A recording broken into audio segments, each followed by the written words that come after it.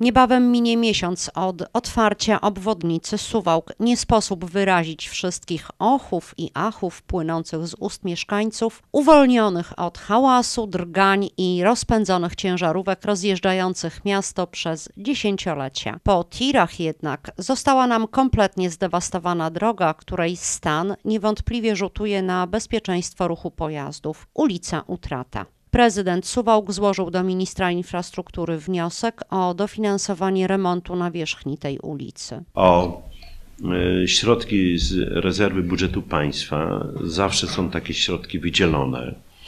One są trochę dedykowane dla e, tych miast, które chcą remontować obiekty mostowe, jakieś wiadukty.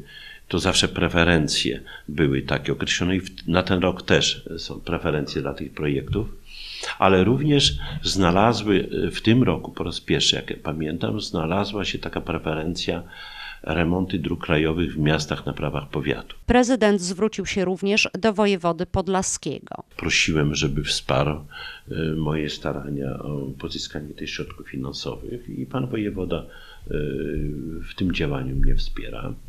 E, Zobaczymy, co z tego wyjdzie. W maju, tak jak nam zapowiedziano, będzie rozstrzygnięcie tego konkursu. Jednak, jak informuje włodarz miasta, niezależnie od tego, jakie ono będzie, miasto przystąpi do remontu nawierzchni tej ulicy. Lada moment ogłoszony zostanie przetarg na tę inwestycję. Mamy w budżecie naszego miasta na, na remont e, utraty 800 tysięcy złotych.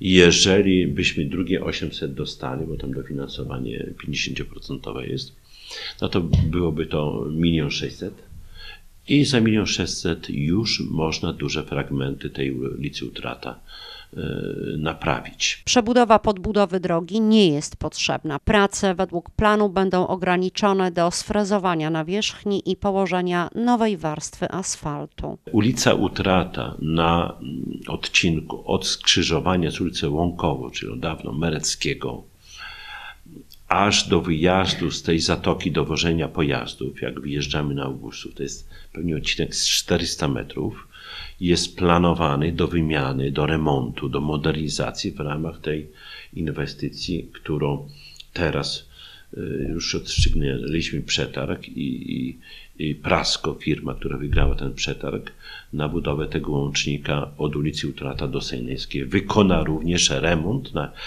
kompleksowy remont, przebudowę, z budową ronda e, właśnie na wysokości tego łącznika tam i, i ulicy Aleksandry Piłsudskiej. E, Firma Prasko no, też e, część tej ulicy Utrata wyremontuje. Zakres naprawy pozostałej części drogi zależy od tego, czy miasto dostanie środki z Ministerstwa Infrastruktury.